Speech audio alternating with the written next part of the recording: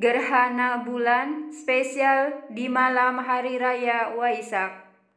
Mari kita perbanyak doa dan berzikir kepada Allah Subhanahu wa taala.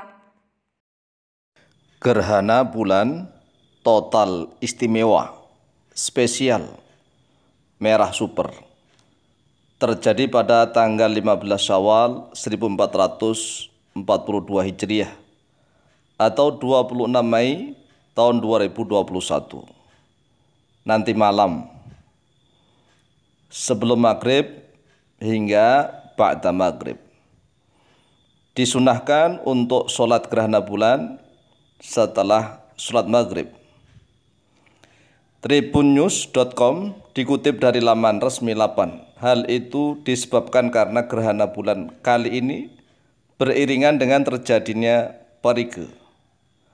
Periga adalah fenomena ketika bulan berada di jarak terdekatnya dengan bumi. Puncak terjadinya gerhana bulan total di Indonesia pada pukul 18.018.43 WIB. Sementara puncak periga akan terjadi pada pukul 18.5746 WIB. Oleh sebab itu karena bulan total kali ini bisa juga disebut dengan bulan merah super. Mengingat lebar sudutnya yang lebih besar. Selain spesial, gerhana bulan total ini juga bertepatan dengan detik-detik Waisak. yakni pada 15 Sukla Paksa atau Paro Terang. Waisaka 2565 era Buddha. Pada dasarnya detik-detik Waisak terjadi ketika Purnama Waisak atau disebut juga Waisaka Purnima yang selalu jatuh pada tanggal 15 Sukla Paksa di bulan Waisaka. Kemudian gerhana bulan dimulai pada 1546 WIB atau 1646 Wita. 1746 Wit terjadi di Papua dan Kepulauan Aru. Awal sebagian pukul 16.44 WIB atau 17.44 WITA atau 18.44 WIT terjadi di Papua, Papua Barat, Maluku, kecuali Kepulauan Aru, Maluku Utara, Sulawesi Utara, sebagian Gorontalo, sebagian Sulawesi Tengah, Sulawesi Tenggara, dan Nusa Tenggara Timur. Nah, sekarang puncak gerhana. Puncak gerhana terjadi pada pukul 18.18. Perhatikan. 18.18. 18. 18.18 waktu Indonesia Barat atau 19.18 waktu Indonesia Tengah atau 20.18 waktu Indonesia Timur terjadi di seluruh Indonesia. Jadi ini terjadi di seluruh Indonesia kecuali Aceh, Pulau Nias dan sebagian Sumatera Utara. Saudaraku kaum muslimin wal muslimat rahimakumullah. Ingat bahwa gerhana rembulan maupun gerhana matahari adalah fenomena biasa. Fenomena alam biasa. Ingat sabda Rasulullah sallallahu alaihi wasallam, "Inna syamsa wal qamar." Sesungguhnya matahari dan rembulan. Rembulan ya, bukan bulan. Jadi rembulan yang benar. Kalau bulan itu seperti Januari, Februari, Maret, April, Mei itu namanya bulan. Atau Al-Muharram misalnya, bulan Muharram itu bulan, Syawal bulan. Tapi kalau komar itu rembulan. Jadi yang benar adalah gerhana rembulan. Inna syamsya sesungguhnya matahari wal qamar dan sesungguhnya rembulan ayatan yaitu dua ayat, dua tanda-tanda. Min ayatillahi dari ayat-ayat Allah. La yaksifani li mauti ahadin. Tidak gerhana oleh keduanya limauti ahadin karena kematian seseorang. Wala lihayatihi dan juga tidak karena kehidupan seseorang. Faidha ra'aitum dzalika Lalu apabila telah melihat oleh kalian dzalika pada itu yaitu gerhana. Fad'ullaha maka berdoalah oleh kalian Allah pada Allah. Wa kabbiru dan bertakbirlah oleh kalian Wa dan solatlah oleh kalian Wa tasaddaqu dan bersedekahlah oleh kalian Muttafaqun alaih Hadis ini disepakati atasnya oleh Imam Bukhari dan Muslim oleh karena itu, disunnahkan sholat gerhana. Sholat gerhana dua kali berdiri. Empat kali ruku, walaupun dua kali berdiri tetapi empat kali ruku. Jadi rukuknya empat kali. Kemudian empat kali membaca surat Al-Fatihah.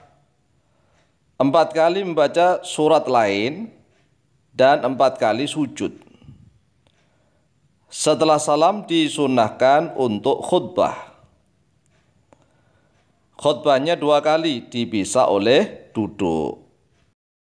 Adapun tata cara sholat gerhana. Yang pertama niat. Niat itu wajibnya di dalam hati.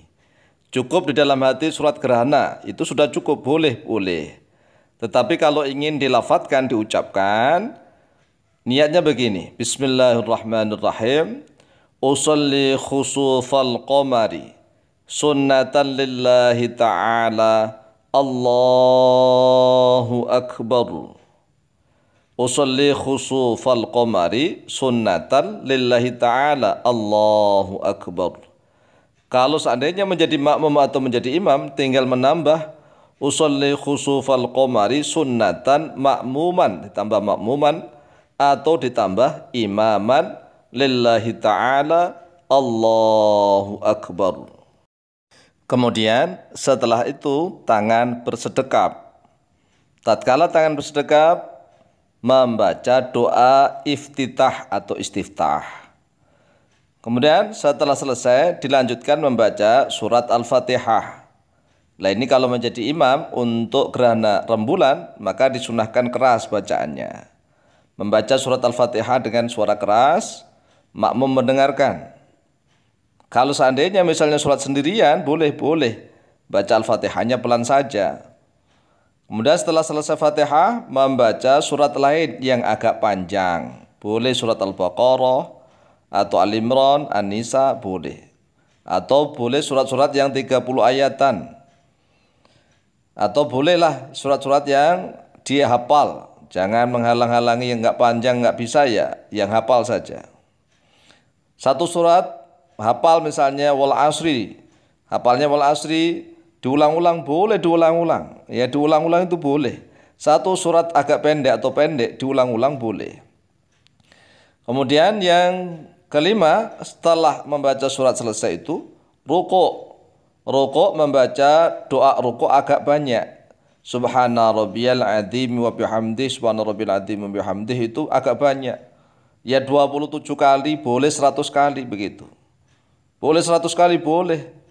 Dengan harapan nanti itu setelah selesai mulai dari sholat sampai selesai sholat hingga khutbah itu gerhana mataharinya mulai dari awal gerhana kemudian tatkala gerhana total hingga kita selesai sholat itu eh, gerhana mata rembulannya sudah mulai kembali normal begitu. Jadi makanya sholatnya agak panjang. Kemudian yang keenam, setelah ruku i'tidal, membaca doa i'tidal. Ya, ya diulang-ulang boleh, agak panjang juga boleh doa i'tidalnya.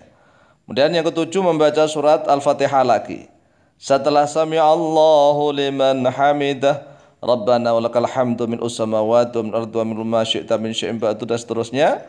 Baca surat Al-Fatihah lagi. Bagi imam, sholat gerhana rembulan disunahkan keras lagi membaca Al-Fatihah lagi. Kemudian setelah selesai dilanjutkan membaca surat lain lagi yang agak panjang. Boleh satu surat ulang-ulang boleh. Ya, tapi kadang-kadang malu ya. Padahal itu bukan malu atau tidak malu, tapi boleh. Kemudian setelah itu ruku yang kedua. Membaca doa ruku agak banyak. Baca doa ruku agak banyak ya. Jangan hanya tiga kali. Tujuh kali, sebelas kali, lima belas kali, dua puluh tujuh kali atau seratus kali begitu.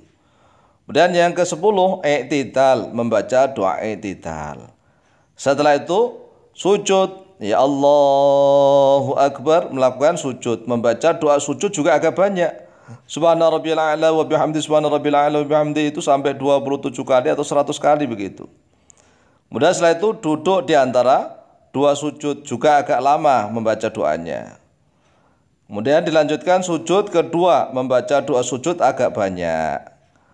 Setelah sujud yang kedua kemudian berdiri lagi untuk melakukan hal yang sama tapi tanpa membaca surah eh, doa iftitah langsung baca Al-Fatihah kemudian baca surat dan ruku setelah ruku membaca Al-Fatihah lagi dan surat Kemudian setelah itu sujud, lalu duduk di antara dua sujud dan sujud lagi. Kemudian duduk untuk tahiyat akhir, membaca tahiyat, tasyahud, solawat, dan doa-doa, kemudian salam. Setelah salam disunahkan khutbah. Kalau tidak seandainya tidak khutbah juga tidak apa-apa karena itu sunnah ya. Wallahu taala a'lamu biswab.